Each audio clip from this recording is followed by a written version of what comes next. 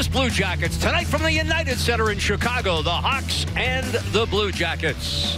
Our Geico goaltenders, Joonas Korpisalo, sixth straight start, 2-0 against these Blackhawks.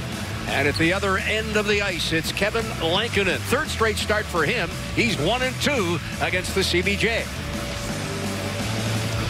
Jack Roslovic, first four games as a Blue Jacket, yeah, slow start.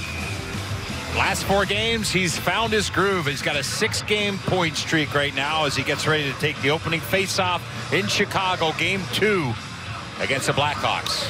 Jackets in their traveling whites, the Hawks in their home reds. And we are set for the opening draw. And from the face-off, Hawks send it back into their own zone. This is DeHaan. Up the left wing boards. It's redirected there by Soderberg. But icing is the call.